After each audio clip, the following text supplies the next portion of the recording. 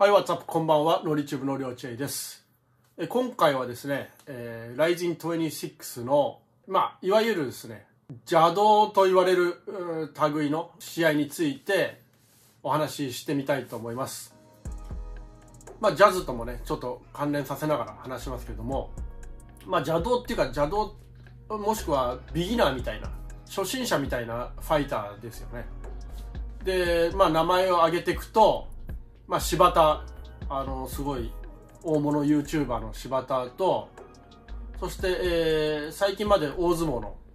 やってて、暴力事件ですか。で、ちょっと首っていうか廃業になってしまった須田剛選手。そして平本蓮選手、えー、元 K1 ファイターですよね。K1 のトップクラスのファイターで、まあ、今回初めての、えー、総合格闘技の試合。まあ、そして、えー、オリンピック銀メダリスト、レスリングのね、銀メダリストの太田忍選手。まあ、この平本選手、まあ、須田里選手もそうですし、2戦目か、須田里選手は2戦目ですよね。まあ、MMA、総合格闘技の練習、多分1年、2年弱ぐらい、2年も行ってないと思いますね、1年ぐらい。で、平本選手も1年ぐらいと言われてて、まあ、太田忍選手はもっと少ないかな。まあ、多く見ても1年ぐらいですよね。だからまあ、この3人とも初心者ですよね。いくら、いや、野球のすごいトップクラスの選手でもサッカーにいきなり行ったらそれは初心者なんで、いきなり公式試合に出るってことはまあありえないとは思うんですけども、基本的に。で、柴田選手はまあ初心者っていうか、一応アウトサイダーとかディープも出てるんですかね。まあプロの試合にもちょっとやったりしてるでもまあ本格的にトレーニングをずっと続けてなかったりコンスタントに試合もしてないんでまあセミプロみたいなセミプロファイターみたいな感じですかね。まあプロレスなんかもやってるし。であとは五味貴則対浩二っていうまあ五味選手はものすごいそのレジェンドで素晴らしい選手だけどもやっぱり半分ちょっと現役から退いちゃってるようなまあ、体を見てもそういう風な感じには見えますけども。で、まあ、膝もやっぱりちょっと怪我っていうかをなんか抱えててちょっとなかなかまともに試合するのは難しいのかなっていうふうに見えてしまう。そんな感じの状態でで浩二選手は k 1まあ、超トップファイターではないと思うんですけどもね、まあ、トップの方。でチャンピオンとかにはなってなくて k 1をやめて、えー、ライジンの方に来たと。それで、まあ、あのプロモーションとか口がすごく上手で盛り上げてまあ、集客力があると、まあ、チケット3000枚ぐらい売れるということで、まあ、前回誰とやりましたっけ？雷神でやりましたよね。あ那須川天心といきなり。まあそれも動画で出そうと思ったんですけどもまあ普通に考えたらボクシングの世界だったら厳しいからそういう浩二選手の実力で那須川天心と超トップの別格な王者といきなり試合組まれるっていうのは、まあ、ありえないんだけれどもまあ、それがちょっとやっぱりライジンはエンターテインメント性が強いから、まあ、集客重視話題性重視ってことでそれが組まれてしまったと。で試合は正直一方的でで、まあ、耐えて立ってるだけと、まあ、それもすごいけど、まあ、そういう耐えるのが偉いっていう競技じゃないってね。安川天心選手とかいろんなファイター言ってますけども、まあ、その2人が体重差も1 0キロ以上あってでゴミ選手は総合格闘技のファイター、まあ、パンチが得意な、総合のファイター。そして浩二選手はキックボクシングね立ち技のファイターが、えーと、ボクシングルールみたいなパンチだけでやるっていう、まあ、そこでちょっと、まあ、ある意味ちょっと色物っていうんですかそちょっとそれてしまってる試合になってるわけですよね、まあ、やる前から。でまああの、一種格闘技戦っていうのか、まあ、多ジャンルにえ挑戦っていうのはものすごい難しいんですよね。自分はまあ音楽やってるからこれ当たり前に簡単に分かるんですけどもクラシックのトップクラスの演奏家がじゃあジャズやりますって言って1年特訓してまあなかなか難しいですよね。半年とか。と思います。やっぱりそこはジャズとしては初心者になってしまうわけですよね。そのリズム感とかも全然違うしボキャブラリーとかフィーリングとか。でじゃあ逆にジャズのトップミュージシャンが世界クラスのねミュージシャンが、まあ、クラシックやると。それで波のクラシックの演奏家レベルには到底太刀打ちできないわけですね。波どころか。まあ稀にその両方をやるっていうの世界に何人か数えるぐらいウィントン・マルサリスとかそういうかなりのレベルでできる人っていうのがいるけれどもじゃあ例えばチェリストのヨーヨーマっていう人が、まあ、世界のね歴史に残るようなそういう人がちょっとジャズみたいな挑戦してもやっぱりお子様みたいになっちゃうわけですね正直。で彼なんか耳がいいから自分でもあこれはすぐにはできないなってやっぱり言えるぐらい耳がいいのはすごいなって自分はあのテレビ見てて思ったことあるんですけどもまあそれぐらいあの子供みたいになってしまうと大人と子供みたいに。で自分もあのここ一昨年ぐらいですか。ここ23年のうちにねハードロックバンドのアースシェイカーのマーシーさんっていうボーカリストと一応ライブやらせていただいてまあそのまあ分かってたけどもやっぱり難しいしあとねベンチャーズなんかを演奏する江戸山口さんっていうエンターテイナーの方とも、えー、セッションさせていただきましたけどもまあやっぱりね分かってることだけど難しさっていうのはあるわけですよね。でじゃあロックみたいな例えば単純な、ね、表面的な単純なものを簡単かって言ったらそそういうわけでもないですよね。やっぱりフィーリングが違うんでそれをもう10年20年やってる人の中にじゃあジャズで一応コードとかそういう理屈は分か分かるから理論的なことは分かるからシンプルだからできるかっつったらやっぱり本当の音楽的な意味じゃそれは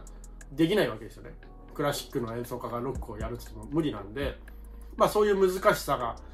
ありますよね。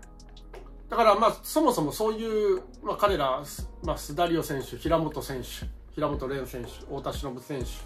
まあ、みんなビギナーなんである競技では極めたあのトップの方まで行った人たち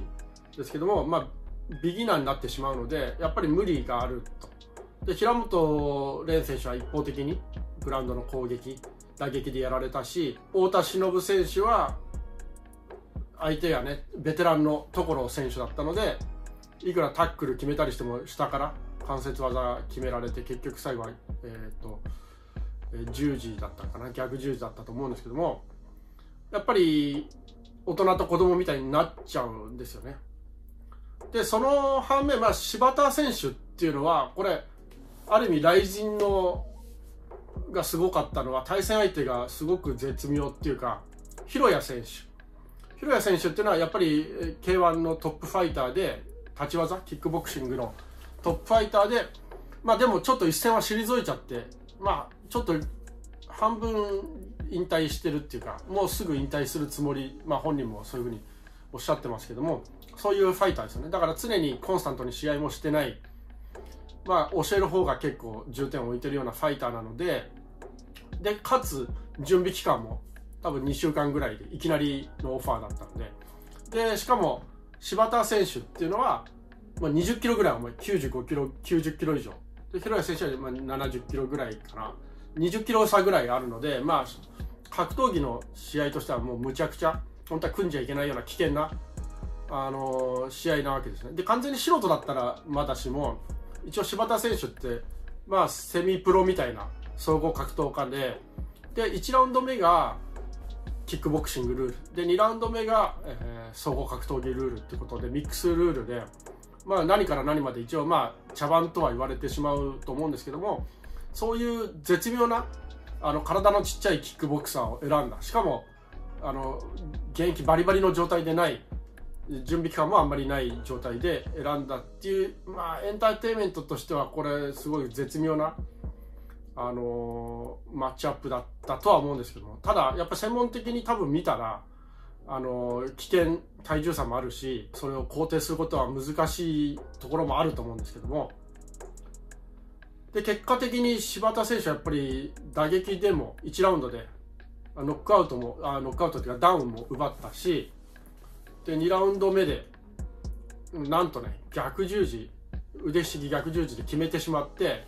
まあ広谷選手はタップしてない多分手がこういうふうに動いちゃっただけなのかなと。本人別に嘘つく必要もないと思うんでタップしてないで腕十字ってどこが痛いんですかね。肩はちょっとなんかあれだけどどこが痛いかわからなかったんであれで決まったんですかねって言ってるのでまあそこまでエンターテインメントじゃないと思うんで、まあ、それ本当ただ、まあ、タップに紛らわしい動きしたっていうのは、まあ、まあ本人の責任にもなってしまうので実際2ラウンド戦い抜いて両者あのドローと判定なしのドローっていうなったんですけども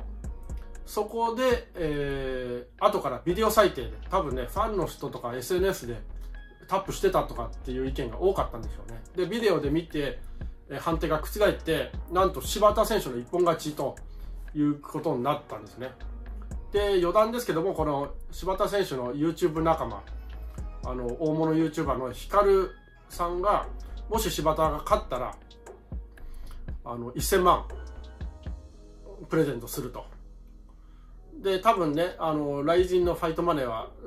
結構大したことないと。のわずかだと思うんですけどもこれ勝ったらね嬉しいということで1000万プレゼントするっていう話もあったのでこれドローになってで負けた場合は坊主だと。でだからドローになったんで500万で坊主か坊主で、えー、1000万か。500万で半分坊主とか、まあ、そんなやり取りがあった中なんとねあの試合終了後にしばらくしてからそういう覆ってやった1000万だなんていうこともあってまあいろいろちょっとできすぎてるかなっていう感じはしたんですけどもまあとにかく柴田選手勝ってまあそれはねまあエンターテインメントとしては良かったのかなと思います。でゴミ選手と、まあ、コージ選手ゴミ選手、まあ、正直、まあ、レジェンドのファイターに対してあんまりこういう思ったり言いたくないけどもやっぱり体もねその現役バリバリっていうか前世紀と比べたらやっぱり別人のような感じ、まあ、パンチは力はあるんでしょうけどもやっぱり動きも違うでしょうしで浩二選手も最初はね自分から行かないっていう、まあ、体重差もあるから難しいんでしょうけどもそういうのもあって。まあいろいろねエンターテインメントとしては嬉しいと。その一時代築いたゴミ選手を見れるのは嬉しいと、まあ、それそこに立ち向かう浩二選手ってことでで安心してねパンチだけで、まあ、膝ゴミ選手は膝も怖いんで、まあ、パンチだけだとまだ安心できるし、まあ、スタミナもねそこまで切れずに最後までゴミ選手いけたので、まあ、そういう意味で良かったなと。でとにかく最後ねこのゴミ選手が、まあ、試合はそういう微妙なところもあったんですけどもゴミ選手がね、まあ、あの浩二選手が試合前の会見で、まあ、金玉おじさんとかって言ってたんですね。ゴミのこと火の玉ボーイが昔はあだ名だったけど今はもう金玉おじさんだと。でそれに対してそこでは何も言わなかったんだけどもそこに対して、えー、試合後にリング上でゴミ選手がいやあの浩二君立派な立派ないい金玉持ってるよってあの締めてくれたことでなんか全てねまあ円満になんかハッピーエンドになったなっていう感じはありました。でこれらの試合ですよね。ちょっと長くなってしまうので一旦ここで、えー、切ります、えー、また後日改めて、えー、続きを。アップしたいと思います。ありがとうございました。